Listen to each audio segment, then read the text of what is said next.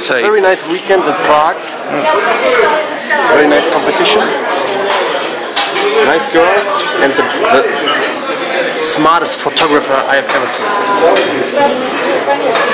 seen.